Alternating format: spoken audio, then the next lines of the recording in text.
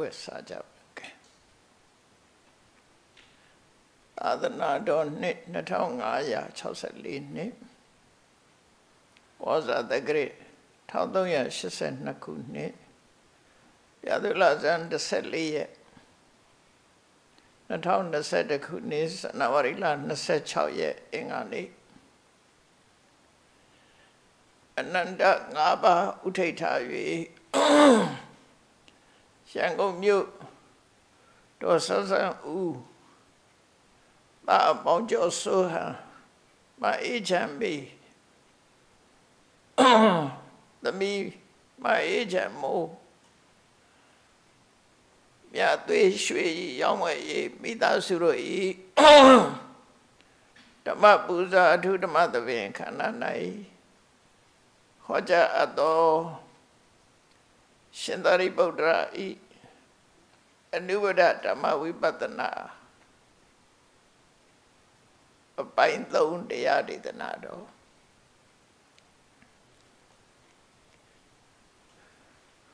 ပထမဇန်ဝင်စားပြီးတဲ့အခါမှာ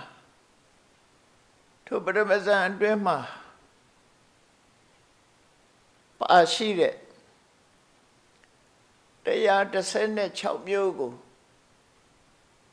ဝိပဿနာရှုတာအဲ့ဒီ16မျိုးတွေကစံတရားနဲ့ပတ်သက်တာ၅မျိုးစံရဲ့အင်္ဂါလို့ခေါ်တဲ့ပရိဝဇာနဲ့ပတ်သက်တဲ့တရား၅မျိုးရှိတယ်ဝိတက်ဝိสารဝိတက်ကဝိสารပိတိဒုက္ခဧကဂတာလို့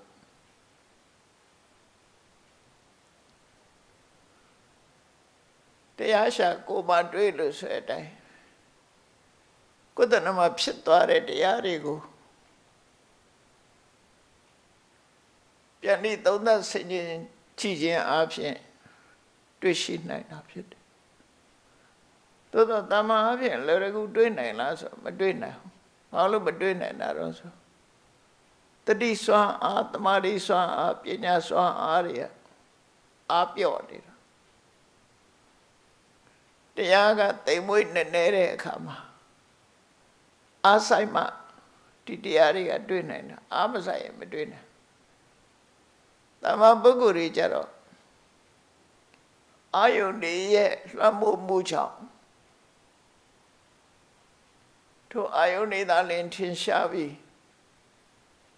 အာယုန်တွေကိုတတ်မဲ့တွေ့တာတဲ့ခိရိတာတွေကသာထင်ရှားပြီးကျန်တဲ့တရားတွေက တိတ်မြုပ်ပြောက်ွယ်နေသလိုဖြစ်တယ်ပေါ့နော်။အဲဆိုတော့စွာကြည့်တဲ့ဟာကရှေ့ရောက်လာတာ။အာယုံမှလည်းပဲတူတူပဲစွာကြည့်တဲ့အာယုံကရှေ့ရောက်လာတာပဲ။ဥပမာမဲ့မျက်စိနဲ့မြင်နေရတဲ့အဆင်းအာယုံကိုကြည့်နေပေမဲ့လို့ ပြင်းထန်တဲ့အတန်ကြီးကြားလို့ရှိရင်စိတ်ကမြင်နေတဲ့အာယုံကနေပြီးအတန်ပဲရောက်သွားတာ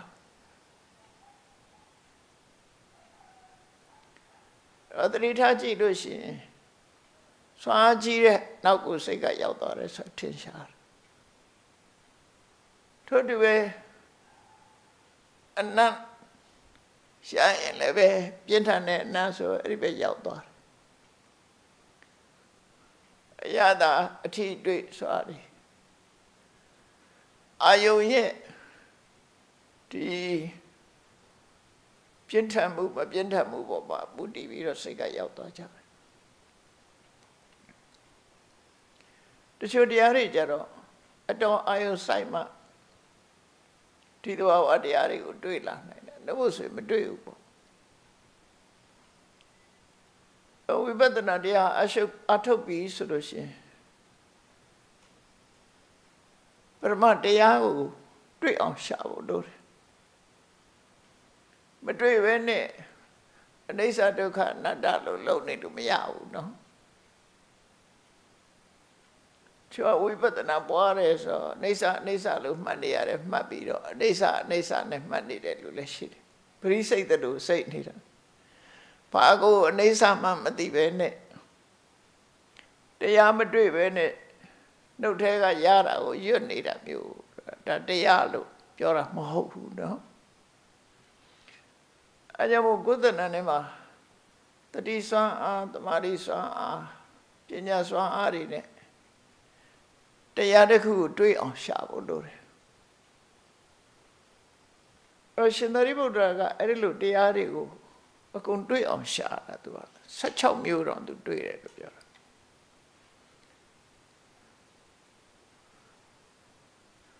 အဲ့16မျိုးတွေကဆိုင်ငါနဲ့ပတ်သက်တဲ့5မျိုးတမာရီစွမ်းအားကအလွန်ကောင်းသည့်အတွက်ကြောင့်5မျိုးစလုံးကိုတွေးတယ်အဲ့တော့တရားကိုတွေးတယ်ဆိုတာဘယ်ရှုတော့ငါနေတွေးရလဲ ရှုတော့နေရှိတယ်ဘယ်အရာပဲဖြစ်ဖြစ်မသားတယ်ဆိုလို့ရှိရင်ဆိုင်ဆိုတဲ့အမှတ်သားတစ်ခုရှိတယ်ဘယ်တရားပဲဖြစ်ဖြစ်အမှတ်သားလေးတွေရှိတယ်ပါဠိလိုလက္ခဏာလို့ခေါ်တယ်စိတ်ထဲမှာ မှတ်လို့ရတယ်လက္ခဏာလို့ဆိုတဲ့တဘာဝလက္ခဏာတရားတစ်ခုရဲ့တဘာဝကိုအရင်ကြည့်အရင်သိအောင်ကြည့်ရမယ်လို့ဆိုလို့တယ်အဲ့တော့ဝိပဿနာရှုပြီးဆိုရင်ဘယ်တရားကိုပဲရှုရှုမှတ်ထားဖို့ရ လက္ခဏာကိုတွေ့အောင်ကြည့်တရားရဲ့လက္ခဏာကိုတွေ့အောင်ကြည့်အဲ့တော့လက္ခဏာကနှမျိုးရှိတယ်တဘာဝလက္ခဏာသာမညလက္ခဏာလို့လက္ခဏာနှမျိုးရှိတယ်တဘာဝလက္ခဏာဆိုတာသဘာဝသူ့ရဲ့ကိုယ်ပိုင်အမှတ်သားလို့ပြောတာ တရားတစ်ခုမှာကိုယ်ပိုင်အမှတ်သားလေးတွေရှိတယ်အဲ့ဒီအမှတ်သားရှုတော့ကနေပြီးဒီတရားကိုရှာတွေ့တာဥမာမဲ့လူတယောက်ကိုကြည့်တယ်ဆိုလို့ရှိရင်တခြားစဉ်းစားကြည့်ပေါ့လူတယောက်ကိုကြည့်တဲ့အခါမှာကိုမှတ်သားထားတဲ့အမှတ်သားလေးတွေရှိတယ်ဥပမာအသားဖြူသလားအသားမဲသလားအရက်ပုသလားအရက်ထွားသလား ပိန်သလားဝသလားပြီးတော့ဟမ်ပန်မူရလှုပ်ရှားပုံသပင်ပုံစံထင်ရှားတာတွေပေါ့နော်ဝတ်လာတဲ့အဝတ်အဲ့ဒီအနေစပြီးဒါဘသူပဲလို့ပြောကြတာလေဘသူရဲ့ကိုယ်ပိုင်အမှတ်သားလေးတွေကို characteristic လို့ခေါ်တဲ့သဘာဝတရားရဲ့ ကိုယ်ပိုင်အမှတ်သားလေးတွေရှိတယ်အဲ့ဒီကိုယ်ပိုင်အမှတ်သားလေးတွေနဲ့ဒီတရားကိုရှာတွေ့ရမယ်ပထမတွေ့တယ်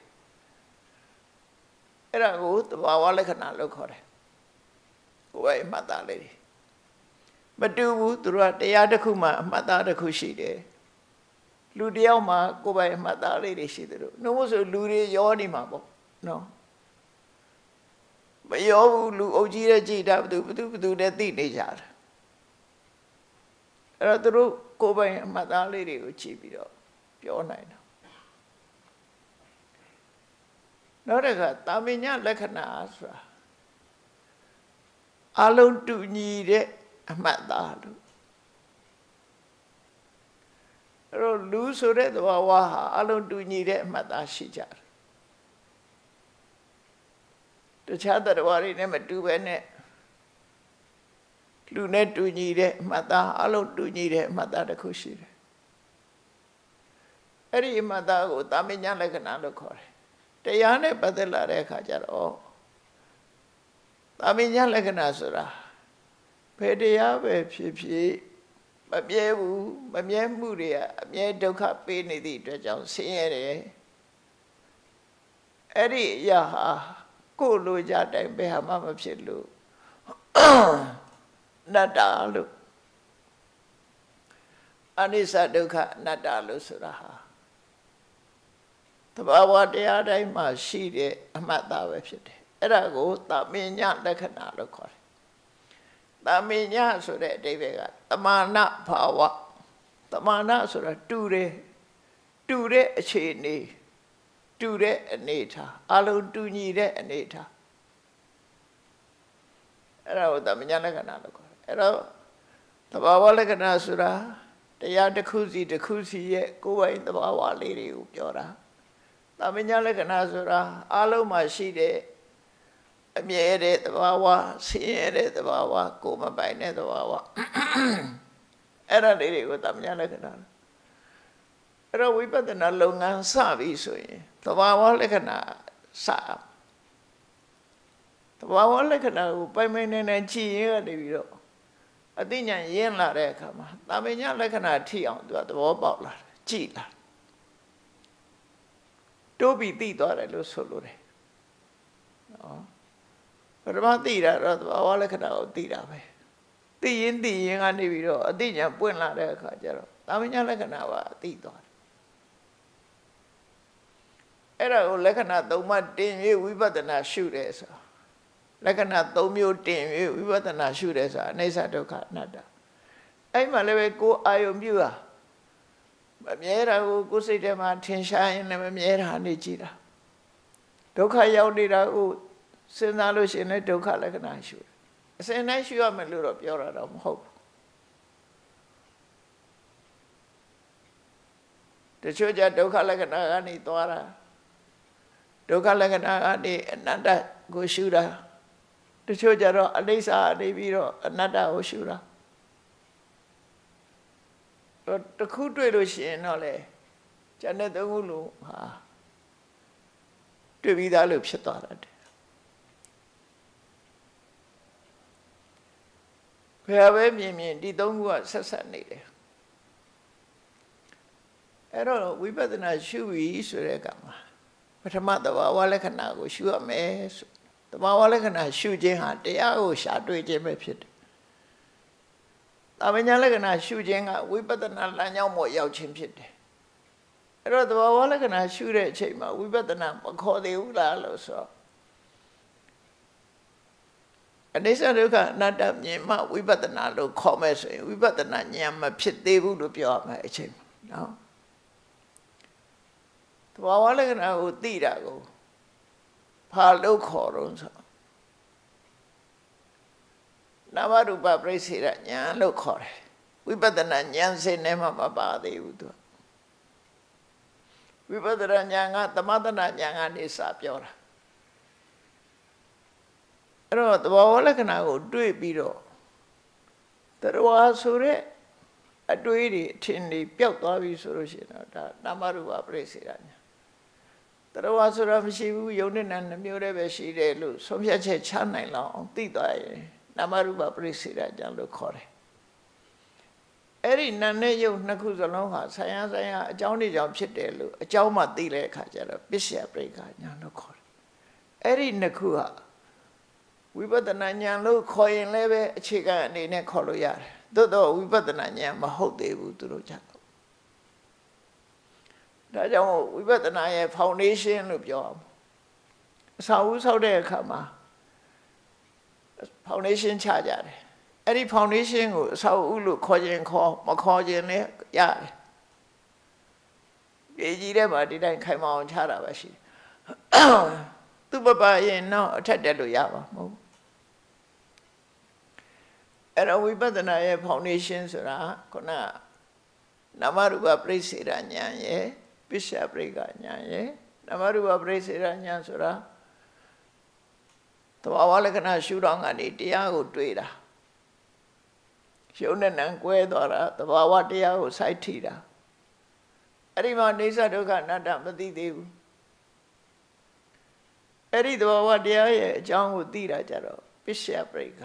အကြောင်းတရားကိုဆုတ်ကင်မိတယ် ပစ္စယဆိုတာအကြောင်းတရားပြိခါဆိုတာအသိဉာဏ်နဲ့ဆုပ်ကင်မိလိုက်တယ်အဲ့ဒီကြတော့တန်တရားတွေကင်းသွားတယ်ဘာတန်တရားတွေကင်းသွားတော့ဆိုအကြောင်းရှိလို့ဒါတွေဖြစ်နေတာပါလားမမှန်ကန်တဲ့အကြောင်းတွေကိုမစင်စားဘူးရှေ့ရခင်ကတော့တကုရှင်တူကဖန်တီးထားသလိုလိုစိတ်ထဲမှာထင်ရတယ်ပေါ့နော် ဖန်ဆင်းရှင်ကဖန်ဆင်းထားသလိုစိတ်ထဲမှာထင်ရတယ်သို့မဟုတ်အကြောင်းမဲ့သူဖြစ်ချင်လို့ဖြစ်နေတယ်လို့စိတ်ကထင်တယ်သို့မဟုတ်သတ်မှတ်ချက်ရှိတဲ့အတိုင်းကြိုတင်သတ်မှတ်တဲ့အတိုင်းဖြစ်နေတယ်လို့လည်းစိတ်ကထင်ရတယ်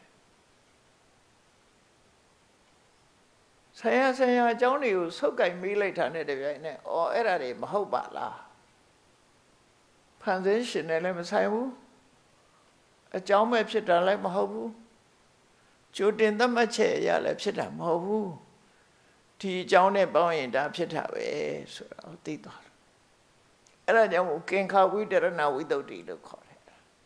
ကင်္ခဆိုတာတန်တရားဝိတရဏဆိုတာကြော်လွှားတာဝိတ္တုတိစင်ကြယ်မှုတန်တရားတွေကိုကြော်လွှားပြီးတော့တန်တရားတွေကိုရှင်းလိုက်နိုင်တဲ့ကင်္ခဝိတရဏဝိတ္တုတိ ဘသူကိုခေါ်တာတော့ဆိုပစ္စယပရိက္ခဉာဏ်ကိုခေါ်တာဒီအကြောင်းကြောင့်ဖြစ်နေတာပါလားဆိုတော့ကိုတေချာသိတော့ပစ္စယပရိက္ခဉာဏ်အဲ့တော့ဝိပဿနာလုပ်ပြီဆိုလို့ရှိရင်နမရူပပရိစ္ဆေရာစတာမညတဘာဝလက္ခဏာကိုရင်တွေ့အောင်ကြည့်ရရှင်သာရိပုတ္တရာကိုမြတ်စွာဘုရားကအနုပရဝိပဿနာဟောတဲ့အခါမှာတော့ နားလည်ပြီးသားပုဂ္ဂိုလ်တွေယဟန်တွေကိုခေါ်တာဆိုတော့နာမည်လေးတွေလောက်ပဲကောက်ပြသွားတယ်ချင်းကျုပ်ကအဲ့တော့ဘုန်းကြီးတို့တွေကြတော့အဲ့လိုနာမည်လေးကောက်ပြရုံနဲ့ဒီတရားကိုတွေ့မှာမဟုတ်ဘူးအဲ့တော့တေးသေးချာချာလေးလာစူးစမ်းကြည့်ကြရအောင်ဝိတက်ကရဲ့တဘာဝကိုရှေးဥစွာကြည့်ဝိတက်ကဆိုတာ ပါဠိစကားဝိတက်ကပါဠိစကားလုံးလေးအတိုင်းမှတ်တာလည်းကောင်းပါဝိတက်ကစိတ်ကူးတယ်တွေးတောတယ်စိတ်ကူးတယ်ဆိုတာပါလဲတွေးတာဆိုတာပါလဲ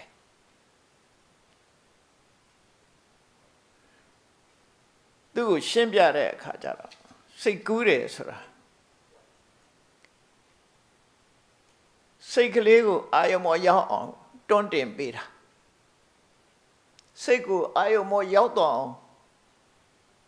တင်ပေးတာကိုပြောတာကဲအဲ့ဒီဝိတက်လေးကိုတွေးလို့ရအောင်မလုပ်လဲကိုယ့်ကိုအာနာပါနာမှတ်ကြည့်လိုက်ပေါ့အာနာပါနာမှတ်ကြည့်လိုက်တဲ့အခါမှာအာယုံလေးပေါ်ကစိတ်ကမြဲရောက်တာမဟုတ်ဘူး ရောက်လိုက်တခြားအာယုံတော့ရောက်သွားလိုက်ကိုမှတ်တဲ့အာယုံပေါ်မှာမရောက်ဘူးစိတ်ကဟိုရောက်သွားလိုက်ဒီရောက်သွားလိုက်ဖြစ်အဲ့ဒီအချိန်မှာတတိထားပြီးတော့ဝိတက်ကဒီအာယုံလေးပေါ်ရောက်အောင်တင်းတင်ပေးနေရတယ်တင်လိုက်လွတ်သွားလိုက်တင်လိုက်လွတ်သွားလိုက်အဲ့ဒီတင်းတင်ပေးနေတဲ့အာယုံမောကိုစိတ်ကလေးကိုတင်းတင်ပေးနေတဲ့သဘောကိုဝိတက်ကလို့ခေါ်တယ်။ဗမာလူတော့စိတ်ကူးတယ်တွေးတောတယ်။ ဟုတ်တယ်လေ။နေ့ပြင်ကဘာတွေလုံးဆရာရှိလဲ။ဝိတက်ကိုရှာတွေးလိမ့်မယ်။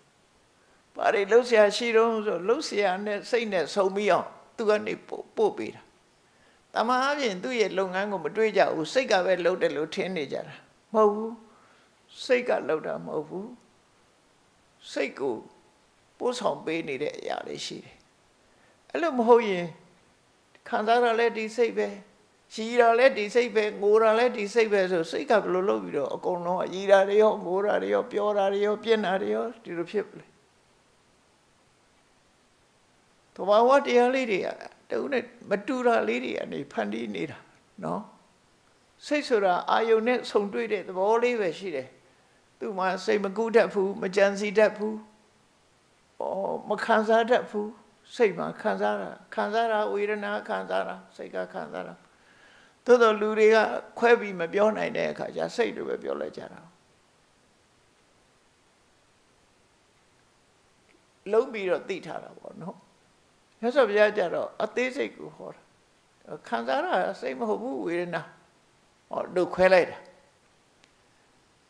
စိတ်ကူးတာစိတ်မဟုတ်ဘူးစိတ်ကိုကူးအောင်လုပ်ပေးတာဝိတက်ဟောဝိတက်ကလို့ခေါ်တယ်အဲ့သဘောလေးကိုခွဲထုတ်ပြီးတော့သိဖို့လိုတာ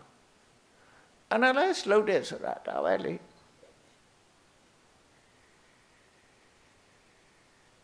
သူတေသနာလုပ်တဲ့ပုဂ္ဂိုလ်တွေဟာဓာတ်ကိုသူတေသနာလုပ်တယ်ဆိုလို့ရှိရင်သူခွဲထုတ်တာပဲလေဘယ်ဟာလေးကပါဘယ်ဟာလေးကပါနဲ့သူတို့လက်ထဲမှာသွားပြီးတော့ခွဲထုတ်တာပဲဥပမာမဲ့ရေကိုကြည့်တဲ့အခါမှာတာမန်လူကတော့ရေကရေပဲလေ ရေကိုစစ်ဆေးတဲ့အခါကျတော့ဘာဓာတ်ကဘလောက်ပါနေတယ်ဘယ်ဓာတ်ကဘလောက်ပါတယ်ဘယ်ဓာတ်ကဘလောက်ပါတယ်ခွဲထုတ်တာပဲလေအဲ့ဒါလိုပဲစိတ်ဆိုတဲ့သဘာဝဟိုသူတေသနာလုံးတလို့တည်တည်ချာချာကြည့်လိုက်လို့ရှိရင်သဘာဝလေးတွေမတူတာ။အော်ဒီစိတ်ကလေးကအာယုမောရောက်ရောက်သွားတာဝိတ္တရဲ့စွမ်းဆောင်မှုပါလား။သူ့ချောင်ရောက်နေတာ။သူ့ဖယ်လိုက်ရင် ဟုတ်လား။တခါတလေသူကမြုပ်နေတာရှိတယ်။အာယုမောရောက်နေအဲ့တော့အာယုမောကိုတင်းတင်းပေးနေရလို့ဝိတ္တကလို့အာယုကိုတင်ပေးတတ်တဲ့သဘောအနေနဲ့သူ့ကိုရှာတွေ့တယ်။ဒါသူ့ကိုတွေ့တာပဲ။အဲ့လိုတရားနှလုံးသွင်းကနေဝိတက်ကိုရှာလိုက်တဲ့အခါစာပေကတော့ဘယ်လိုပြောတော့ဆိုအာရမဏိစိတ်တတ အភិနိရောပနလက္ခဏောတဲ့အာယုံပေါ်ရောက်အောင်စိတ်ကိုတင်ပေးခြင်းအမှတ်သားရှိပါတယ်ဝိတက်ကအာယုံပေါ်ရောက်အောင်စိတ်ကိုတင်ပေးနေတာသူတင်မပေးရင်မရောက်ဘူးလို့ဆိုလိုတဲ့အဓိပ္ပာယ်အဲ့တော့ तू မတင်မဲနဲ့ရောက်သွားတဲ့စိတ်ကရှိသေးတယ်တဘာဝအားဖြင့်သူတင်စရာမလိုဘဲနဲ့တဘာဝ automatic အာယုန်နဲ့တွေ့သွားတဲ့စိတ်က10မျိုးရှိတယ်နော်10မျိုးရှိတယ်အဲ့10မျိုးကဘာလို့ဆိုရင်မြင်သိစိတ်2မျိုးပါဠိလိုစက္ခုဝိညာဉ်စိတ်လို့ခေါ်တယ်မြင်သိစိတ်2မျိုးသောတာဝိညာဉ်စိတ်ကြာသိစိတ်2မျိုးခန္ဓာဝိညာဉ်စိတ်နံသိစိတ်2မျိုးစီဝဝိညာဉ်စိတ်လျက်သိစိတ်2မျိုးကာယဝိညာဉ်စိတ်ထိသိစိတ်2မျိုး အလုံး10မျိုးအဲ့ဒါရတော့ဝိတက်ရဲ့စွမ်းဆောင်မှုမပါဘဲနဲ့ automatic အာယုံပေါ်ရောက်သွားတာဒါဖြင့်ဘယ်သူစွမ်းဆောင်မှုနဲ့အာယုံပေါ်ရောက်တော့ဆိုရင် तू ကဓဝရနဲ့အာယုံဝတ္ထုနဲ့အာယုံဆုံလိုက်တဲ့အရှိန်နဲ့ तू ကတက်သွားတယ်လုတ်ပေးစရာမလိုတော့ဥပမာမျက်စိနဲ့အစင်ဆုံလိုက်တာနဲ့ automatic မြင်သိဖြစ်သွား စိတ်ကူးပေးနေစရာမလိုဘူးလေမျက်စိရဲ့အစင်အာယုံပေါ်လိုက်ရင်စိတ်ကူးပေးစရာကိုမလိုပြောင်းဆိုတယောက်သွားပြီအဲ့ဒါ automatic တက်သွားတာအတန်ကြာရင်လည်းပဲစိတ်ကူးပေးစရာမလိုဘူးချက်ချင်းရောက်သွားတယ်အနမ်းရရင်လည်းချက်ရောက်သွားတယ်ဘာလို့လဲဆိုရင်မျက်စိရဲ့အဆင်းရဲ့ဒီယုံနှစ်ခုတိုက်လိုက်တဲ့အရှိန်နဲ့သူကတက်သွားတာပေါ်လို့များလို့ပေါ့ပုတ်လိုက်ရင်တက်သွားသူကသူ အထူးပြစ်နေစရာမလိုအာယုနဲ့ဝတ္ထုနဲ့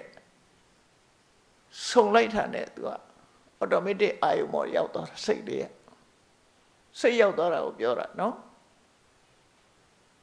အတန်နဲ့နားနဲ့ဆုံလိုက်တာနဲ့သောတာဝိညာဉ်စိတ်လေးကအာယုမောရောက်သွားတယ်နှာခေါင်းနဲ့အနံ့ဆုံလိုက်တာနဲ့ခန္ဓာဝိညာဉ်စိတ်လေးကအာယုနဲ့တွေ့သွားတယ်ချက်ချင်း ဆုံလိုက်တဲ့အရှိန်လေးနဲ့တက်တက်သွား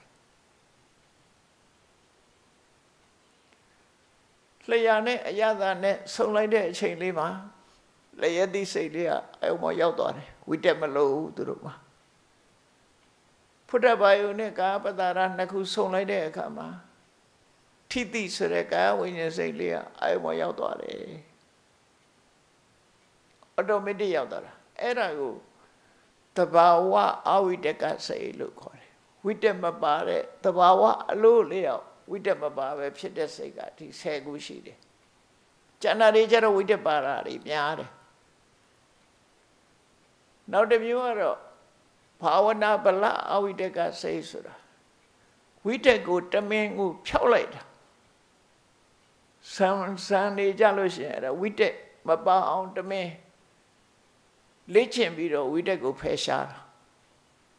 အဲ့ဒီဖယ်ရှားလိုက်လို့ရှိရင်လည်းဝိတက်မပါဘဲနဲ့အာယုံက automatic တက်သွားနိုင်အောင်လုပ်ပြီးတယ်အဲ့တော့မှတ်သားထားဖို့ရတော့စိတ်ဆိုတာအာယုန်နဲ့ဆုံတွေ့ဖို့ဝိတက်ရဲ့စွမ်းအားကိုယူရတယ်ဘောလုံးလေးတစ်ခုအပေါ်ပြန်တက်ဖို့ပုတ်တဲ့အားပေါ်မှာမိတည်တယ်နော်လက်နဲ့ပုတ်ချလိုက်လို့ရှင်ဘောလုံးကပြန်တက်သွားတယ် အဲ့လိုဝိတက်ကနေပြီးတော့မှအာယုမောစိတ်ကိုတင်ပေးလို့အာရမဏိစိတ်တတအဘိနိရောပနလက္ခဏောလို့တူတူဆိုတာနော်အာယုမောစိတ်ကိုတင်ပေးတာတဲ့သောဟိအာရမဏိစိတ်တံအာရောပေတိတဲ့ထပ်ရှင်းပြတာစိတ်ကလေးအာယုမောရောက်လို့ရောက်တာဝိတက်ရဲ့အကူအညီနဲ့ရောက်တာပါတဲ့ဥပမာမဲ့ ဘယင်းခေတ်ကဘယင်းရဲ့နန်းတော်ရဲဆိုတာတမန်ပုဂ္ဂိုလ်တွေသွားရတာလည်းမဟုတ်ဘူးသွားလည်းမသွားတတ်ဘူးပေါ့နော်သို့တော့ဘယင်းနဲ့ယဉ်နှီးတဲ့ပုဂ္ဂိုလ်တယောက်ကခေါ်သွားရင်တော့သူပါသွားတာ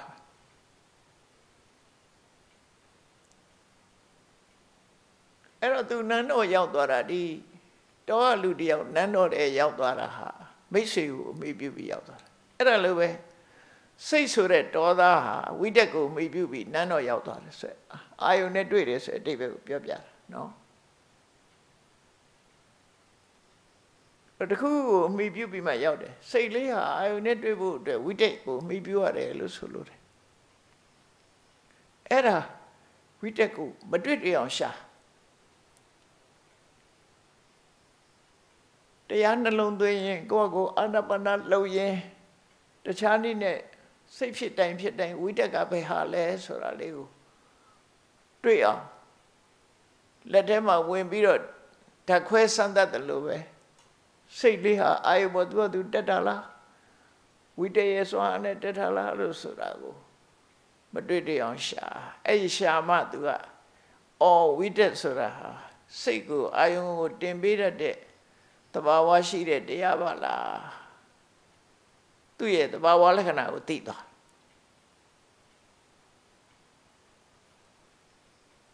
တဘာဝလက္ခဏာရှုတော့ကနေပြောတာနော်အဲ့တော့လက္ခဏာကိုသိပြီးတဲ့အခါမှာလက္ခဏာရှုတော့ငါလည်းကြည့်လို့ရတယ်နောက်ကြည့်လို့ရတဲ့ကိစ္စကသူ့ရဲ့ဆောင်ရွက်မှုကိုကြည့်ပြီးတော့လေသူ့ကိုရှာတွေ့လို့ရသူဘာလှုပ်တာလဲ သူဘာလှုပ်တာလဲဆိုအာဟနနပတိဟနနရတော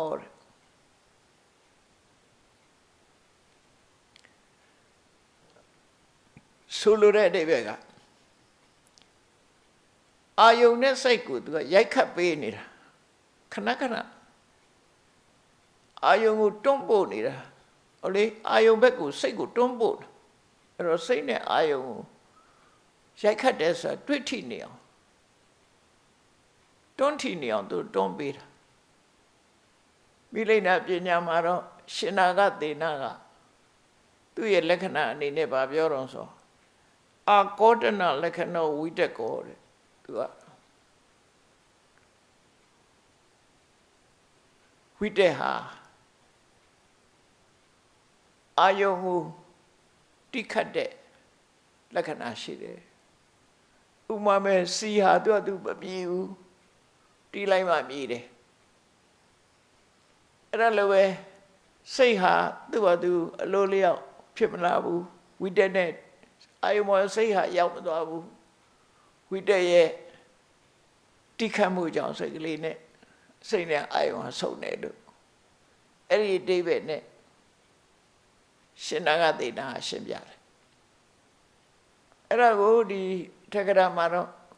အာဟနနပฏิဟနနရတောတဲ့အာဟနနပရိဟနနဆိုတာဒီအာယုန်နဲ့စိတ်နဲ့ကိုထိတော့အောင် တွန့်တွန့်ပြီးတော့ပေးတဲ့ကိစ္စရှိတယ်ဟန္ဒနာကိုသူကတိခတ်ပေးတယ်ဆိုတဲ့အဓိပ္ပာယ်နော်တိခတ်ပေးတယ်အပြန်အလှန်တိခတ်ပေးတယ်ထပ်ထပ်ပြီးတော့တိခတ်ပေးတယ်အဲ့ဒီရှုတော်ကနေကြည့်လို့ရှိရင်လေဟုတ်တယ်ထွက်လေဝင်လေမှတ်တဲ့အခါမှာစိတ်ဟာအာယုံမောမရောက်ဖဲနဲ့တခြားရောက်သွားရင်ဝိတက်ကနေပြန်တိခတ်ပေးပြန်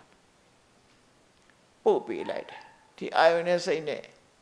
ပြန်ပြီးတော့ဆက်ဆံအောင်လုပ်ပေးလိုက်တယ်နောက်ရှုတော့တစ်ခုကတော့ဘာလို့ဆိုရင်ပစ္စုပ္ပထနာလို့ခေါ်တယ်ပစ္စုပ္ပထနာဆိုတာဝိတက်ကိုတွေးတဲ့အခါမှာသူ့ရဲ့ပုံရိပ်ကိုဘယ်လိုတွေးရတော့ လူတွေတူနဲ့တူတော့မတူတော့ဘူးစိတ်ကူးထဲမှာပုံရိပ်ကဝိတက်ကဘာနဲ့တူတယ်ဆိုတာပုံဖော်တတ်တယ်လေလူတွေဝိတက်တရားကိုပုံဖော်ကြည့်လိုက်တဲ့အခါမှာအာရမဏိစိတ်တတအာဘန္ဒနာပစ္စုပ္ပထာနောစိတ်နဲ့အာယုံကိုတွဲဆက်ပေးတတ်တဲ့သဘောရှိတယ်အတိပ္ပယ်တည်တည်လေးတွေပဲသွားတာနော် ခုနကသူ့ရဲ့လက္ခဏာကအာယုံပေါ်မှာတင်ပေးတယ်အာယုံနဲ့မတွေ့တွေ့အောင်တိခတ်တယ်တွန်းပို့တယ်နော်အာယုံနဲ့စိတ်နဲ့တွဲချီပေးတယ်ဆိုတာဒါဝိတက်ရဲ့အလုပ်တွေကြီးပဲကောင်းနော်အာယုန်နဲ့စိတ်ဆုံမိနေအောင်ချီနှောင်ပေးထားတဲ့တဘာဝတရားဖြစ်ပုံဆောင်တာကိုရှာတွေ့ရတယ်ပေါ့နော်အာယုန်စီကိုဆွဲခေါ်သွားတယ် အာယုန်စီကိုဆွဲခေါ်သွားတယ်အာယုန်နဲ့နှောင်ဖွဲ့ပေးထားတယ်အာနနယပစ္စုပ္ပတ္ထနောအာရမဏိစိတ်တတအာနနယပစ္စုပ္ပတ္ထနောစိတ်ကိုအာယုန်စီဆွဲခေါ်သွားတယ်တင်ပေးတဲ့သဘောပဲအဲ့ဒီလိုသူ့ရဲ့ပုံရိပ်ကိုစဉ်းစားလို့ရတယ်ပေါ့ဒါကိုပစ္စုပ္ပထံလို့ခေါ်တယ်သူကလက္ခဏာရတာ ပစ္စုပ္ပထနာလက္ခဏာဆိုတာ characteristic အမှတ်သားရတာဆိုတာသူ့ရဲ့ဆောင်ရွက်မှုကိစ္စသို့မဟုတ်ပြည့်စုံမှုသူ့ရဲ့အနေအထားပစ္စုပ္ပထနာဆိုတာပြန်နဲ့ထင်လာတဲ့ပုံရိပ် manifestation လို့အင်္ဂလိပ်လိုပြန်တယ်ပုံရိပ်ကလေးပฏิဥပဒနာဝိတက်ကိုရှာတဲ့ပုဂ္ဂိုလ်တွေဟာ ဝိတက်ရဲ့ပုံရိပ်ကိုဒီလိုတွေ့နိုင်တယ်ဒီလိုဆိုလိုတာပေါ့နော်စိတ်ကူးထဲမှာတွေ့ရတဲ့ပုံရိပ်ပေါ့အဲ့ဒါလို့ဝိတက်နဲ့ပတ်သက်ပြီးတော့အဲ့တော့ကိုယ်တဏ္ဍာမှာဒီဝိတက်ကလေးဖြစ်တာကို မတွေ့တည်အောင်ရှာအဲ့တော့ပြန်ပြောမယ်ဆိုလို့ရှိရင်စိတ်ကိုအာယုံကိုတင်ပေးခြင်းအမှန်သားရှိတယ်လက္ခဏာရှိတယ် ဟောမှတ်သားရှိတယ်စိတ်နဲ့အာယုံအပြန်လှန်တိခတ်ပေးခြင်းထိတွေ့စေခြင်း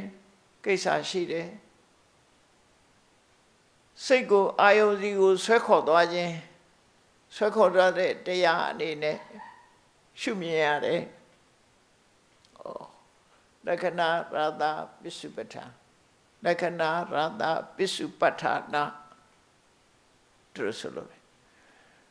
ပဋ္ဌာနာကြတော့သူ့ရဲ့အကြောင်းကိုသိတာအဲ့တော့တာမညာလက္ခဏာကိုသိတဲ့အချိန်မှာတော့ပဋ္ဌာနာသိတာလည်းရှိတယ်မသိတာလည်းရှိတယ်ဆိုလိုတာဒီတရားတွေ့ဖို့အဓိကပိစ္ဆပရိခဉာဏ်ရင်တော့အကြောင်းသိပြီပေါ့နော်ပိစ္ဆပရိခဉာဏ်ရပြီဆိုမှအကြောင်းကိုသိတယ်အဲ့တော့ဒီတရားလေးတစ်ခုကိုဆွဲထုတ်လိုက်တာထွက်လေဝင်လေရှုပြီးတော့ထွက်လေဝင်လေပေါ်မှာ အဲစိတ်လေးအာယုံရောက်သွားတာဟာသူ့ရဲ့ဆွမ်းဆောင်မှုဆိုတာကိုသဘောပေါက်သွားရင်ဒါဝိတက်ကိုတွေ့ပြီလို့ခေါ်တယ်တရားရှာပုံမှာတွေ့ဆိုတာတွေ့အောင်ရှာနော်ပြောရှာရှင်သာရိပုတ္တရာကတော့ဇံဝင်စားပြီးတော့ဘုရားဇံဝင်စားပြီးဘုရားဇံထားတဲ့အခါဒီဝိတက်ကိုသူရှာတွေ့တာရှာတွေ့တာဘာနဲ့တွေ့ဒီတိုင်းတွေ့တာပဲဩအာယုံမောကိုစိတ်ကိုတင်ပေးနေတဲ့သဘောပဲပမာလူစိတ်ကူးတယ် တွေးတောတယ်ဆိုတာဝိတက်ပဲလို့အရရှင်သာရိပုတ္တရာရဲ့အနုအနုပရဝိပဿနာစာ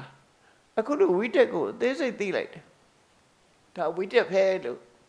ဝိတက်ရဲ့သဘာဝကိုသိချသိတယ်သဘာဝလက္ခဏာသိပြီးတဲ့နောက်သူဘာသိရှေ့မှာဆိုထားတဲ့အတိုင်း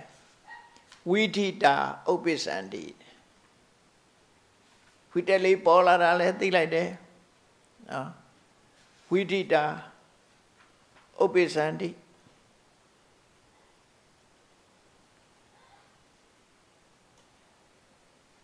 ဝိတိတာဥပဋ္ဌာန်တိထင်ထင်ရှားရှားကြီးပေါ်လာတယ်ထင်ထင်ရှားရှားကြီး တည်ရှိနေတယ်ထင်ထင်ရှားရှားကြီးဖြစ်လာတယ်ဖြစ်လာတာလည်းထင်ရှားတယ်ပေါ်လာတာလည်းထင်ရှားတယ်ဝိတိတာအပတ္တံကိသန္တိပျောက်သွားတာလည်းထင်ထင်ရှားရှားသိလိုက်တယ်တော့ဝိတက်ကိုတွေးတဲ့သဘောနော်အဲ့ဒီကြတော့တာမညာလက္ခဏာရောက်သွားတဲ့အခါကျတော့အော်ဒီဝိတက်ဆိုတဲ့တရားဟာ အခုလိုဖြစ်လာပြီးအခုလိုပျောက်သွားတာပါလားလို့ဆိုတာသဘောပေါက်ပါတယ်ဒါကြတော့အိဋ္ဌာသိတာဖြစ်သွားအဲ့ဒါဝိပဿနာလမ်းကြောင်းပေါ်ရောက်သွားတယ်ဒီတရားတစ်ခုကိုအခုလိုသိတယ်အဲ့တော့ကိုယ့်ကိုယ်ဝိတက်ကိုအရရအောင်ရှာကြည့်နော်ဒီရှုတော့ကနေရှာလိုက်ဒါရှင်သာရိပုတ္တရာဝိတက်ကိုသိပုံပြောလိုက် တယ်သိပြီးတဲ့နောက်ဆက်တွဲအပါတော့ဆိုအနုပါယောဒီဝိတက်လေးပေါ်မှာတွေ့တာတဲ့စိတ်မဖြစ်ဘူးတမန်အပြင်ဆိုရင်တော့ငါစိတ်ကူးလေးကောင်းလိုက်တာ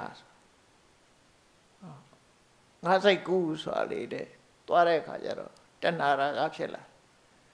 အဲ့ဒါဝိတက်ကိုချင်းကတ်တာတဏှာနဲ့သွားချင်းကတ်တာဖြစ်သွား အနပါယောဒေါသနဲ့ဆုတ်ခွာတာလည်းမဟုတ်ဒီအတွေးတွေကရှုပ်ပါတယ်ဆိုပြီးတော့ဒေါသနဲ့ဖက်ခွာတာလည်းမဟုတ်ဘူး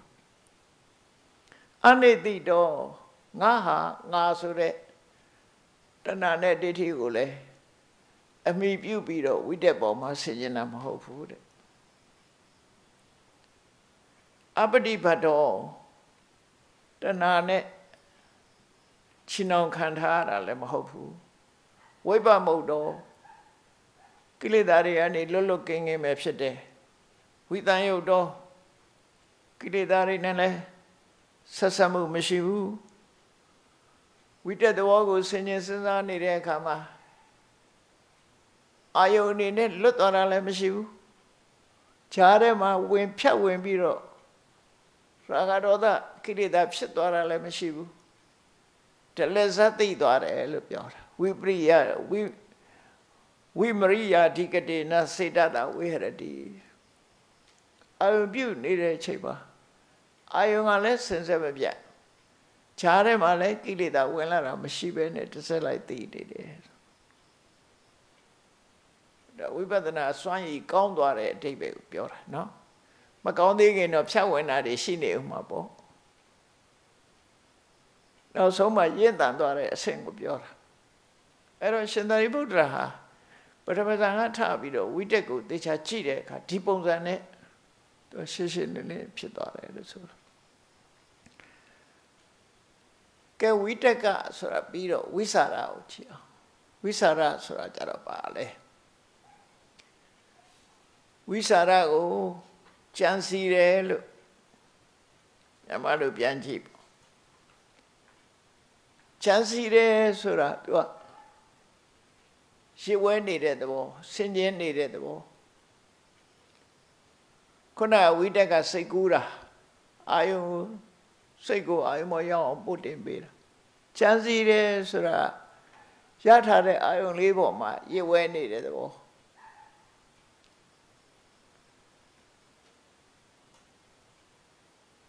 အဲ့ဒါကြောင့်ဝိสารကို အာရမဏေတေနစိတ်တံဝိစရတိဒီဝိစရောအာယုံပေါ်မှာဒီစိတ်ကလေးဟာရေဝဲနေတာဝိစရကြောင့်တခြားကိုခွာမသွားပဲဒီနားလေးပဲရေဝဲနေတာဝိစရကြောင့်လို့ပြောထွက်လေဝင်လေလေးကိုမှတ်နေလို့ရှင်ပထမတော့ထွက်လေဝင်လေရောက်အောင်ခွီးတက်နဲ့တင်ပေးနေရတယ်ရောက်လာပြီဆိုတဲ့အခါကျတော့ ဒီထွက်လေဝင်လေလေးပေါ်မှာငြိမ်သွားသလိုဖြစ်နေတယ်နော်ထွက်တိုင်းဝင်တိုင်းသိနေအဲ့ဒါဝိစာရအာယုံပေါ်မှာစိတ်ရောက်ပြီးတော့အာယုံကအာယုံနဲ့စိတ်နဲ့ကွဲမသွားပဲနဲ့တွဲမိသွားတယ်အဲ့ဒါကိုဝိစာရလို့ခေါ်တယ်အာရမဏနုမေစနာလက္ခဏောတဲ့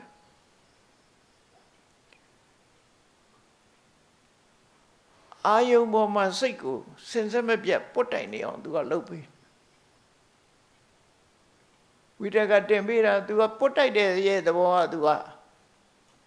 ဒီနားမှာပဲလှုပ်နေတယ်ဘေးထွက်မသွားဘူးဆိုတဲ့အဓိပ္ပာယ်ပဲလေစိတ်ကိုအာယုံပေါ်မှာပုတ်တိုင်နေအောင်လှုပ်ဆောင်ခြင်းလက္ခဏာရှိတယ်သဟဇာတာနုယောစနာရတော ဝိสารနဲ့အတူတွဲပြီးတော့ဖြစ်တဲ့သဘောဝတရားတွေကိုလည်း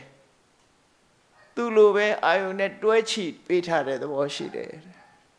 သူပုတ်တိုက်နေသလိုကြံတဲ့ဟာတွေကလည်းဝိုင်းပြီးပုတ်တိုက်နေရတယ်ပေါ့နော်ဝိสารစွမ်းအားနဲ့ရှင်အောင်ပေးထားတဲ့ကိစ္စရှိတယ်စိတ်တတအနုပပန္ဒအနုပပန္ဒပစ္စုပ္ပထနောစိတ်ကိုအာယုန်နဲ့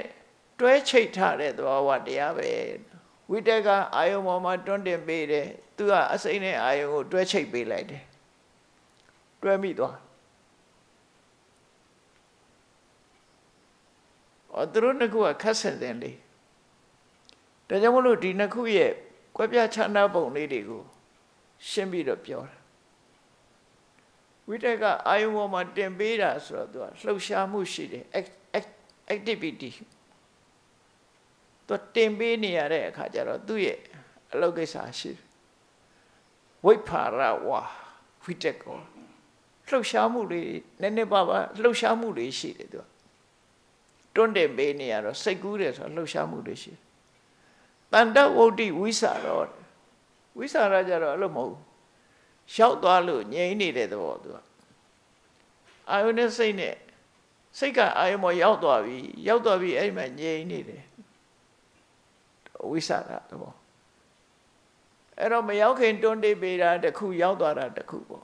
တောင်ထိပ်မရောက်အောင်တက်ရတာတက်တက်နေတဲ့အချိန်မှာလှုပ်ရှားတယ်ပေါ့တောင်ထိပ်ရောက်သွားရင်ငြိမ်သွားတယ်ပေါ့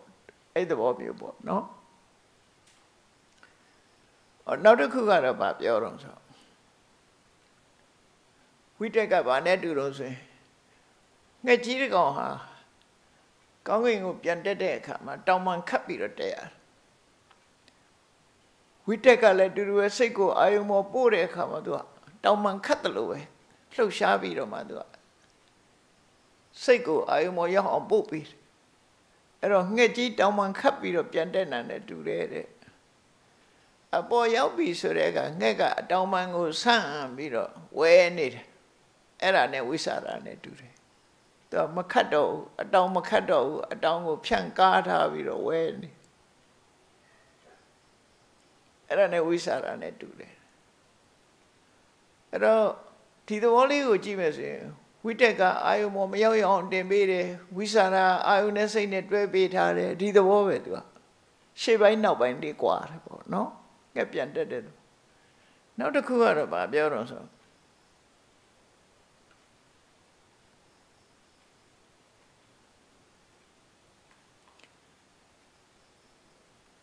နောက်တစ်ခုကဘာတော့ဆိုလို့ရှိရင်ဥပမာပဲပကံခွဲရောက်ကိုကြာကြာနာနာပုတ်တိုက်ပြီးတော့ဆေးတဲ့အခါမှာလက်နှစ်ဖက်လိုတယ်တစ်ဖက်ကပကံကိုတေချာကင်ထားတယ်တစ်ဖက်ကချီးပြောင်းအောင်ပုတ်တယ်ဟောချီးပြောင်းအောင်ပုတ်တယ်အဲ့တော့ကင်ထားတဲ့လက်နဲ့ဝိတက်နဲ့တူတယ် ကြီးပြောင်အောင်ပုတ်ပေးတာနဲ့ဝိสารနဲ့တူတယ်လို့သူတို့ဆိုလို့တယ်အာယုန်နဲ့သူကပုတ်ပေးနေတာဟိုကစိတ်ကိုအာယုန်မရောက်အောင်လုပ်ပေးလိုက်တာပထမကင်ထားတဲ့လက်ပြီးတော့ပုတ်ပေးနေတဲ့လက် နောက်တစ်ခုကဆက်ဝိုင်းဝိုင်းတဲ့အခါမှာကျိုးရယ်ဒုံနှချောင်းရယ်လိုအပ်တယ် ယ် အလဲကောင်မှာတိုင်တိုင်ရိုက်လိုက်တယ်ရိုက်ပြီးတော့အဲ့ဒီတိုင်ကိုကျိုးချီထားကျိုးချီထားပြီးတော့နောက်ထပ်ကျိုးစားတစ်ခုပေါ်မှာဒုံချောင်းတစ်ခုချီချီပြီးတော့ဆက်ဝိုင်းဝိုင်းနေပေါ့နော်အော်ကွန်ပါကွန်ပတ်လောက်ထားမျိုးလို့ပေါ့နော်ဝိုင်းတာမျိုးလို့ကွန်ပါနဲ့ပြောရင်တော့ပို့ပြီးသဘောပေါက်မှာဟောကွန်ပါအချွန်လေးနဲ့ထောက်ထားတယ် အဲထောက်ထားတဲ့ဟာနဲ့ဝိတက်နဲ့တူတယ်ဟိုဘက်ကနေလှည့်ပြီးတော့ခဲရံနဲ့စဝိုင်းဝိုင်းတာနဲ့ဝိစာရနဲ့တူတယ်ဆိုလိုတာကတော့ဒီတစ်ခုကအလုတ်သဘောချင်းဆက်ဆက်နေတဲ့သဘောကိုပြောတာနော်ဝိတက်ကပင်မဝိစာရကထပ်ဖြစ်ပေးတယ်အာယုနဲ့စိတ်နဲ့ဒီသဘောကိုရှင်းပြတာပဲနော်ဒီသဘောကိုရှင်းပြ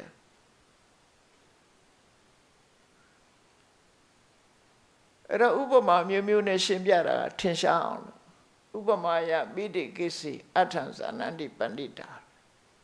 ပညာရှိတဲ့ပုဂ္ဂိုလ်တော်မှာဥပမာနဲ့ရှင်းပြမှာပိုရှင်းတယ်ပိုသိတာအောင်လို့ဥပမာနဲ့ပြောပြတာသူအဲ့တော့ကိုယ်တဏ္ဍမှာဝိတက်လည်းတွေ့ပြီဝိသရာလည်းတွေ့ပြီတွေ့ပြီးတဲ့အခါမှာအဲ့ဒီကြတော့မှအော်ဒီဝိတက် တွေ့တဲ့အခါမှာ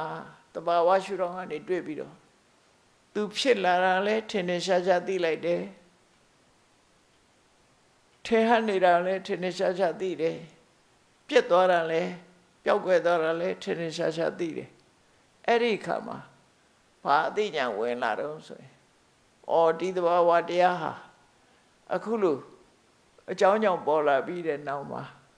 ပျောက်ကွယ်သွားတာပါလားဆိုတဲ့အိဋ္ဌသဘောတရားကိုသိလာတယ်အဲ့လိုသိသိကြောင့်မို့ရာဂနဲ့လည်းမချင်းကပ်ဘူးဒေါသနဲ့လည်းမခွာဘူးနော်ငါငါဟာဆိုတဲ့မှားရတဲ့အမြင်ပေါ်မှာလည်းမမီဘူးတဏှာရာဂနဲ့လည်းဆက်ဆက်ထားမှုမရှိဘူးတော့တဏှာရာဂလွတ်မြောက်တယ် ကိလေသာတွေနဲ့လည်းဆက်ဆက်မှုမရှိဘူးတလက်ဆက်သိနေတဲ့အသိနဲ့ပဲနေတယ်ခြားထဲမှာအာယုဖြတ်ဝင်တာမရှိဘူးကိလေသာဖြတ်ဝင်တာမရှိဘူးတလက်ဆက်သိနေတဲ့အသိနဲ့ပဲနေတယ်တဲ့ဆိုဒါဝိပဿနာညာအကောင်းနေတယ်ဆိုတော့ပြောတာနော်အဲ့တော့ကိုယ်တဏ္ဍမှာဒီဝိสารတရားကိုလည်းပဲအခုလိုရှာဝေပြီးတော့တွေးရှိနိုင်ပါတယ် ကဲဝိสารတွေးပြီးတဲ့အခါမှာပိဋိဆိုတာဘယ်လိုတွေးရအောင်လူတွေကတော့ပြောတာပိဋိဖြစ်လိုက်တာပိဋိဖြစ်လိုက်တာပိဋိကတော့တွေးတွေးဖို့လွယ်ပါလိမ့်မယ်နော်ပိဋိဆိုတာနှစ်သက်တာခြေနှက်တာနှစ်သက်မျက်နှိုးတဲ့မှတ်သားလက္ခဏာရှိတယ်နှစ်သက်မျက်နှိုးလာလို့ရှိရင် ကိုရောစိတ်ရောလန်းဆန်းလာတယ်တက်ကြွလာတယ်တက်ကြွလာတဲ့ကိစ္စရှိတယ်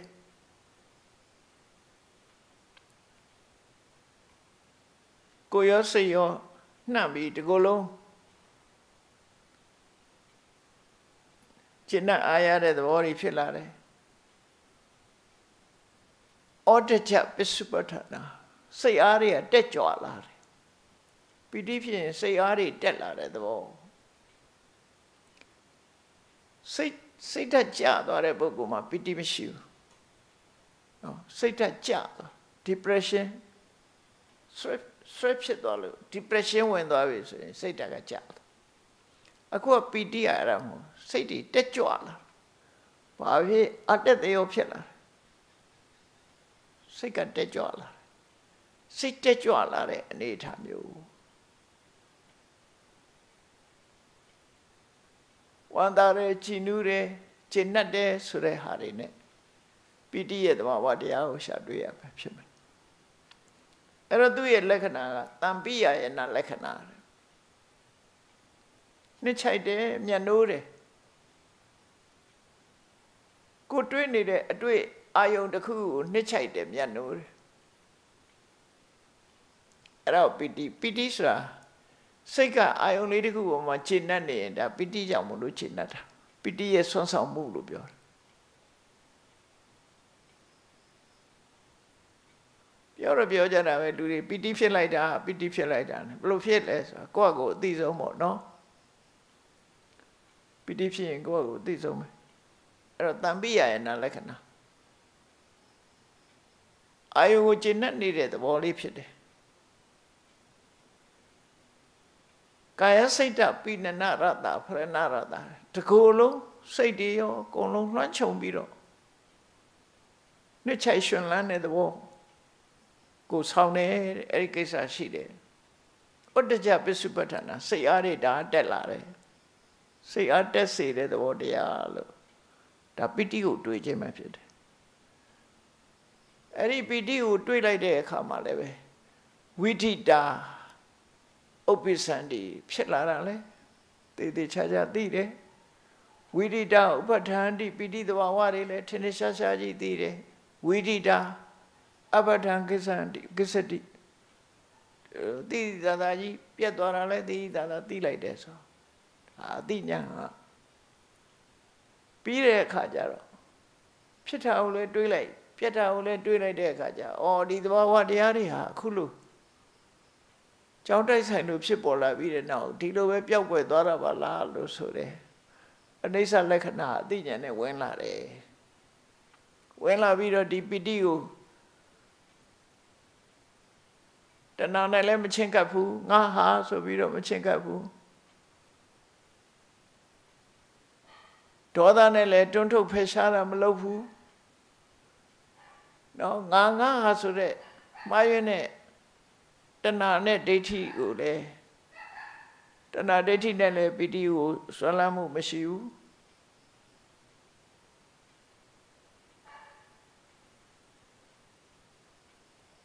နောက်တဏှာနဲ့ပတ်သက်ပြီးတော့လဲခြေနှောင်ထားတာမခံရဘူးတဏှာကနေလွတ်မြောက်တယ်ကိလေသာတွေနဲ့ရောထွေးပြခြင်းမရှိဘဲနဲ့ပိဋိရဲ့သဘာဝကိုဆင်ញင်သုံးသပ်နိုင်တဲ့စိတ်နဲ့ပဲ အပြည့်ဝ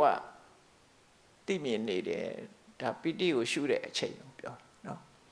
အဲ့တော့တစ်ခုစီတစ်ခုစီသိတာဒီထက်အဲ့ဒါကိုပြောတာအနုပဒဝိပဓမ္မဝိပဿနာစာဒီတရားတွေတစ်ခုစီတစ်ခုစီကိုအဲ့လိုသေချာသိတာနော်ချို့ကြတော့တစ်ခုသိပြီးရင်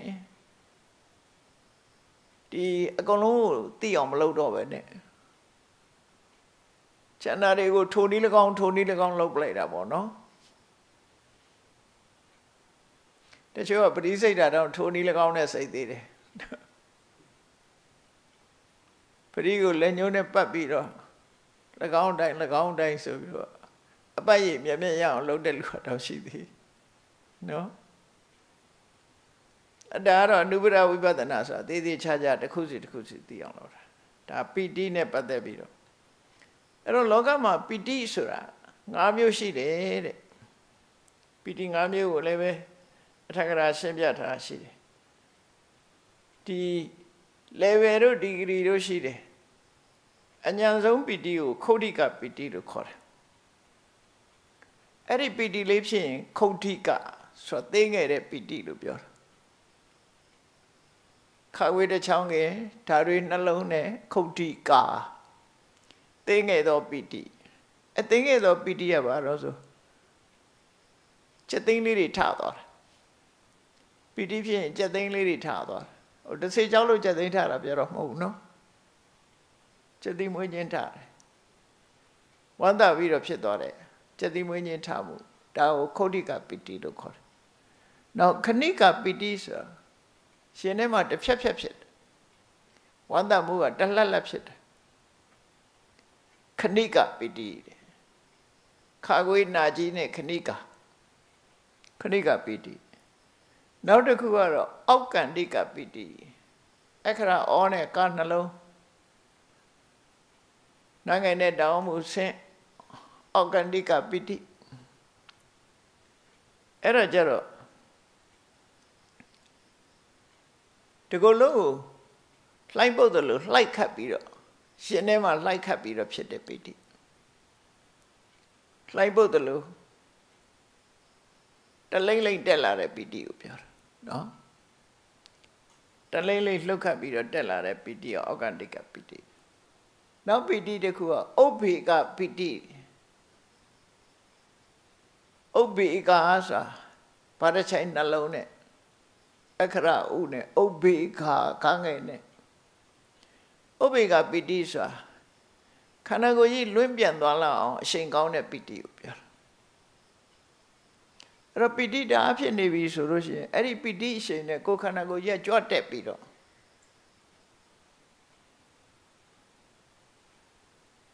တချို့ကျမ်းနဲ့လွတ်တဲ့စာအဲ့ဒီဟာမျိုးဖြစ်တယ်နော်ဒါပီတိအလွန်အားကောင်းပြီဆိုလို့ရှိရင်ဆံရတယ်လို့ပဲကိုသွားခြင်းတဲ့နေရာရောက်သွားတာမျိုးတွေ တီယိုကျွန်းမှာတော့မထေကြီးတစ်ပါးလဲဖះကိုအာယုံပြုပြီးပီတိဖြစ်ရနေဖះဖះစီကိုရောက်သွားတယ်အမျိုးသမီးငယ်လေးတူလည်းပဲမိဘပေါင်းဘွားတွေကအကုန်လုံးဖះသွားကြတယ်သူတယောက်တည်းကြံနေတဲ့အိမ်မှာသူကသွားသူကကိုလေးလက်ဝန်ရှိနေတော့သူ့ကိုမခေါ်ဘူးအိမ်မှာခြံရစ်တယ်အဲ့ဒီမှာသူကဖះကိုအာယုံပြုပြီးတော့ သူတို့များကံကောင်းလိုက်ကြတာဒီနေ့ဖះသွားကြတယ်ဆိုတာကိုအိမ်တကားကနေကြည့်ပြီးတော့သူကဖះကိုဖူးမြော်ရင်းနဲ့ပီတိတွေဖြစ်ပြီးတော့ကောင်းကင်ကနေပြန်ပြီးတော့သူမိဘတွေတဲ့အရင်ဖះကိုရောက်သွားတယ်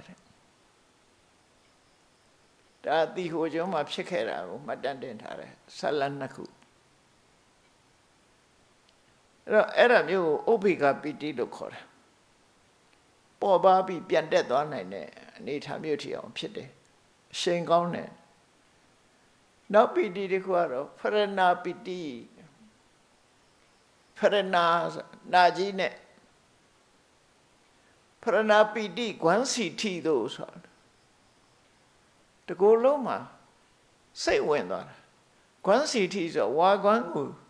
စီတဲ့စိတ်လိုက်လို့ရှိရင်စီမတိတဲ့အမြင်မရှိတော့အကုန်လုံးစိတ်ဝင်သွားတကူလုံးစိတ်ဝင်သွားတဲ့ပီတိကိုဖရဏပီတိလို့ခေါ်တယ်အဲ့တော့လူတွေရဲ့တဏ္ဍမှာဒီလိုပီတိဆိုတဲ့သဘာဝတရားဟာဖြစ်ပေါ်လာနိုင်တယ်တဲ့အဲ့ဒီပီတိကိုရှားတွေ့တယ်ပေါ့ခုနလိုရှားတွေ့ပြီးဒီပီတိဖြစ်လာတာလဲထင်ထင်ရှားရှားသိတယ်ပီတိ ချုပ်သွားတာလဲထင်ထင်ရှားရှားသိတယ်အဲ့ဒီသိတဲ့အခါမှာအနိစ္စသဘောသိသွားပြီးတော့ဒီတရားနဲ့ပတ်သက်ပြီးတဏှာရကနဲ့တွေ့တာမှုတွေမရှိဘူးဓမ္မဟာဓမ္မအနေနဲ့ပဲရှုမြင်သုံးသပ်တယ်လို့အဲ့ဒီအချိန်မှာရှင်သာရိပုတ္တရာကသောတပန်ပဲရှိသေးတယ်နော်ယဟန္တာမဖြစ်သေးဘူးယဟန္တာမဟုတ်ဘူးသောတပန်ပဲရှိသေးတယ် ဆံဖွင့်ဆံရပြီးတဲ့အခါဇန်ထဲမှာရှိတဲ့တရားတွေကိုအခုလိုရှုတာနောက်တစ်ခုကဒုက္ခတဲ့ဒုက္ခဆိုတာ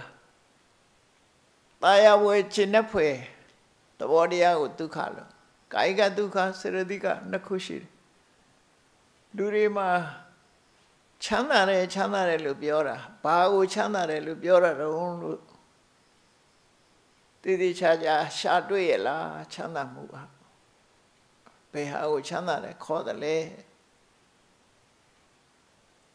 ဟောဒီမှာချမ်းသာတယ်ဆိုတဲ့သဘာဝကိုတန်တလက္ခဏာကိုယ်ကာယအနေနဲ့လည်းခြေနှက်စိတ်ဓာတ်အနေနဲ့လည်းခြေနှက်နေတယ်အခြေနှက်ဖွယ်သဘောတရားလေးကိုဒုက္ခလို့ခေါ်တာပဲမခြေမနှက်ဖြစ်နေဒုက္ခပဲလေအဲ့ဒါလေ happiness လို့ပြောရတာစိတ်နဲ့တင်ဆိုင်တယ်ကိုယ်နဲ့မဆိုင်ဘူးနော်ဒါမို့ blissfulness လို့လည်းပြန်တယ် bliss လို့လည်းပြန်တယ်ဟိုချမ်းသာတယ်ဆိုတာကိုယ်ကာယအနေထားဖြင့်ခြေနှက်ဆရာဖြစ်နေတယ်ခြေနှက်နေတယ်စိတ်ကိုလည်းခြေနှက်နေတယ်အဲ့ဒါကိုဒုက္ခလို့ခေါ်တယ်အဲ့တော့သူ့ရဲ့ဆောင်ရွက်မှုကိစ္စကဘာလို့ဆိုရင်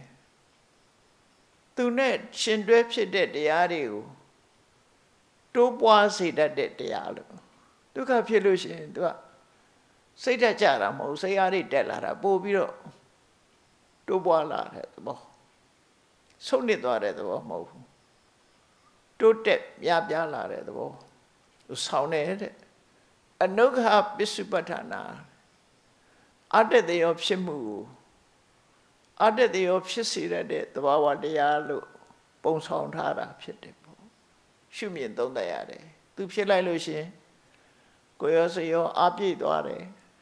ဒုက္ခဖြစ်ရင်အပြည့်သွားတယ်ဆိုတဲ့အဓိပ္ပာယ်ရတယ်ပေါ့နော်အဲ့ဒီမှာပီတိနဲ့ဒုက္ခလည်းပဲခရောရောလေပီတိကနှစ်သက်တာဒုက္ခကချမ်းသာတာဆိုတော့ နှစ်သက်တယ်ချမ်းသာတယ်ဆိုတော့သူတို့နှစ်ခုဘယ်လိုခွဲမလဲသဘောဝချင်းဟာနှစ်ခုဖြစ်ပေမဲ့ရောနေတယ်ခက်ခက်ရောတယ်ဆိုတာခွဲခြားဖို့ခက်တဲ့ဟာမျိုးပြောတာနော်ခွဲခြားဖို့ခက်နေလို့အဲ့တော့ဘယ်လိုခွဲခြားလို့ရတော့ဆိုလိုချင်စရာကောင်းတဲ့အာယုပေါ်မှာကျင့်납တာပိတိ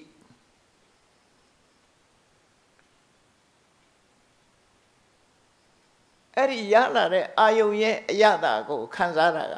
ဒုက္ခဒုက္ခကြတော့ဝေဒနာဟိုကကျင့်납ယုံကျင့်납တာဆိုပါစို့ဥပမာမဲ့ရေစားနေတဲ့လူတယောက်ရှေးခေတ်ကတော့ရေအိုးစင်တို့ရေကန်တို့ပြောမှာပေါ့ခုခေတ်တော့ဖြောရမကရောင်းတဲ့ဆိုင်ဆိုတာဆိုမျိုးရလူတွေကြတော့ ရှေးငတ်နေတယ်တောက်ချင်နေတယ်အဲဒီမှာရှေးတမှုရောင်းတဲ့ဆိုင်ပဲဖြစ်ဖြစ်ဖြောရရောင်းတဲ့ဆိုင်ပဲဖြစ်ဖြစ်တွေးလိုက်တယ်ဆိုလို့ရှိရင်ဟာဥမဆိုင်တွေးတယ်တွေးပြီအဲ့ဒီချိန်လေးမှာစိတ်ထဲမှာကျဉ်တ်သွားတာပိဋိဆိုင်ထဲထိုင်ပြီးတော့တောက်ပြီးဆိုတဲ့အခါကျတော့ဒုက္ခအဲ့လိုခွဲထားနော်ပိဋိယအရင်ဖြစ်တယ်ပိဋိယမြင်ုံနဲ့ကျင့်တတ်သွားပြီးတော့ဒုက္ခကြတော့တကယ်ခံစားရတယ်လို့လို့ဆိုတော့ ထမင်းစားနေတဲ့လူကထမင်းပွဲကြီးမြင်လိုက်တာနဲ့ထမင်းဆိုင်မြင်လိုက်တာရင်ဒါပိဋိထမင်းမှာပြီးတော့စားနေပြီဆိုရင်တော့ဒုက္ခအဲ့လိုချက်ပြီးတော့ကြည့်ပြီးတော့ပေါ့နော်ဒါပိဋိဒုက္ခခွဲတာအဲ့လိုခွဲတယ်နောက်ဆုံးတစ်ခုကဧကကတာနာမည်အပြည့်စုံကစိတ်တသိဧကကတာစိတ်တတဧကခတာ စိတ်ရဲ့အာယုံတစ်ခုတည်းပေါ်မှာတည်ရှိမှုတဲ့တမာရီကိုပြောတာစိတ်လေးဟာအာယုံတစ်ခုတည်းပေါ်မှာရှိတယ်သူကြတော့အဝိခေပလက္ခဏောဟိုအာယုံကူဒီအာယုံကူဟိုရောက်ဒီရောက်စိတ်ကဟိုအာယုံပဲသွားလိုက်ဒီအာယုံပဲသွားလိုက်ဆိုတာမရှိဘူးတဲ့အာယုံတစ်ခုတည်းပေါ်မှာငြိမ့်နေတယ်ဒါသူ့ရဲ့အမှတ်သားလက္ခဏာပဲသဟဇဒဓမ္မနာတံပိန္ဒနာရတော အလုံးကိုစုစည်းထားတမာရီကသူနဲ့ဖြစ်ပေါ်တရားတွေအလုံးကိုအာယုတစ်ခုတည်းမှာငြိမ်သွားအောင်စုစုပေးတယ်ဘာနဲ့ဥပမာတူတော့ဆိုရင်ရှေးကနေပြီးတော့ဂျုံမှုန့်တွေကိုစုစည်းလိုက်ပေါင်မုံတုံးဖြစ်အောင်မုံတုံးဖြစ်အောင်စုစည်းလိုက်တယ်လို့ပဲအမှုန့်တွေကိုစုစည်းတာစာပေထဲမှာတော့ခုခေတ်ကတော့ဒီဟာကသိပ်ပြီးတော့မရှိတော့ဘူး ဆပ်ပြမှုန့်တွေကိုရှည်တဲ့ဖြောပြီးအခဲလောက်တယ်လို့စုစည်းလိုက်တယ်လို့ဆိုလို့အဲ့ဒီရေကအမှုန့်တွေကိုစုထားစုလိုက်တာအခဲဖြစ်သွားအဲ့တော့တမာရီကလည်းတူတူပဲသူနဲ့အတူဖြစ်တာတွေအလုံးတစ်လုံးစီတစ်ခဲရီဖြစ်အောင်စုစည်းတဲ့ကိစ္စရှိတယ်တဲ့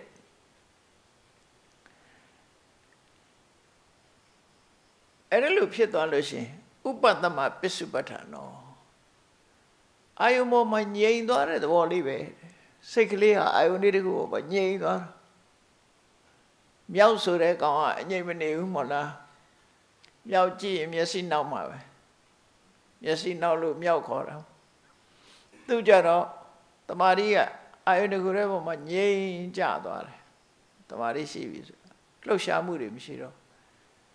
အဲ့ဒါငြိမ်သွားတဲ့သဘောလို့ဒီလို သူ့ရဲ့ပုံရိပ်ကိုတွေ့ရတယ်အဲ့တော့ပေါင်းလိုက်တဲ့အခါဇိုင်းက၅ပါးတွေဟာဆံလို့ဖွဲ့စည်းထားပြီမဲ့တခုနဲ့တခုလှုပ်ဆောင်မှုတွေကမတူကြဘူးနော်လှုပ်ဆောင်မှုတွေမတူဝိတက်ကစိတ်ကိုအာယုံမတင်ပေးတယ်ဝိစာရကအာယုံနဲ့ကွဲမသွားအောင်စိတ်နဲ့အာယုံကိုချီနှောင်ပေးထားတယ်ပီတိကအဲ့ဒီအာယုန်လေးပေါ်မှာကျေနပ်နေတယ်ဒုက္ခက တာယာဝေယာလေးဖြစ်နေတယ်ဧကဂတာကတဏှာထဲမှာငြိမ်သွားတယ်ဆိုဟောဒီသဘောတရား၅ခုပေါင်းဆက်ပြီးတော့និဝရဏတရားတွေကိုဖယ်ရှားလိုက်လို့ဒါမှမဟုတ်ဇံလို့ခေါ်တာနော်ဒါဥဇံလို့ခေါ်တာအခုပိတော့စာရေးဆရာတွေကလည်းသူတို့ဇံဝင်စားတယ်လို့ပြောကြတယ်ဘာဇံဝင်စားတယ်တော့မသိဘူး အာယုန်လေးတစ်ခုတည်းပေါ်မှာစူးစိုက်ပြီးတော့စာရေးတဲ့ဇံဝင်စားတယ်လို့ပြောတာတော့အာယုန်ပေါ်မှာစိတ်ဝင်စားတာကိုပြောတာပဲဖြစ်မှာနော်တော့ဒီဆံကတော့မဟုတ်ဘူးဒီဆံတော့မဟုတ်ဘူးအသုံးရင်းတော့တူနေတယ်ဒီဆံတော့မဟုတ်ဘူးအဲ့တော့ဒီဆံမှာအခုလိုအခြေအနေ9ရက်ပေါင်းဆက်ထားတယ်လို့ပေါင်းဆက်ပြီးတော့ဖြစ်နေတာကိုဒီတဘာဝတရားတွေကိုတစ်ခုစီတစ်ခုစီအသေးစိတ်ပိုင်းခြားသိတာ အနုပရဝိပဿနာလို့ခေါ်တယ်ဒီညာနဲ့ပိုင်းခြားသိတယ်တရားချစ်ခင်သူတော်စင်ပြိဿပေါင်းတို့16မျိုးသောတရားတွေတွေကဆိုင်ငါထဲမှာပါတဲ့9မျိုးသောတရားတွေကိုရှင်သာရိပုတ္တရာဟာခုလိုအသေးစိတ်တစ်ခုစီတစ်ခုစီကိုဆင်ញံသုံးသပ်ပြီးတော့တွေးအောင်ကြည့်ရှုပြီးပွားများလို့ရှင်သာရိပုတ္တရာရဲ့ဝိပဿနာကိုအနုပရဝိပဿနာလို့မြတ်စွာဘုရားကဟောကြားခြင်းဖြစ်ပါတယ်။ ဉာဏ်ကြီးတဲ့ပုဂ္ဂိုလ်တွေသာလျှင်အခုတို့သိစိတ်သိနိုင်တယ်ဆိုတာကိုမှတ်သားပြီးရှင်သာရိပုတ္တရာရဲ့ဉာဏ်ကိုအာယုံပြုပြီးတော့ချီနူးတဲ့တရားတရားတွေဖြစ်ပြီးမိမိတို့ကိုယ်တိုင်လည်းကြိုးစားအားထုတ်နိုင်ကြပါစေကုန်သတည်း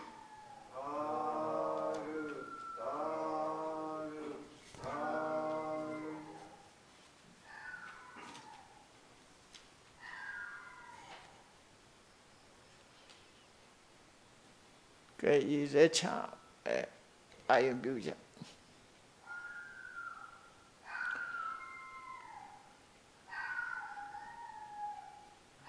အရှင်ဖေယဖေယတွေတော်တို့သည်ဓမ္မအတိညာရှားရှိမှသာလေနိဗ္ဗာန်ချမ်းသာကိုမျက်မှောက်ပြုနိုင်ပါသောကြောင့်ဓမ္မအတိညာရရှိစေရန် ရှိတန်ကြလျက်ဓမ္မတပင်ဆင်ခြင်းပါပြုလုပ်ကြ၍အဝဒဒါနာဓမ္မဒါန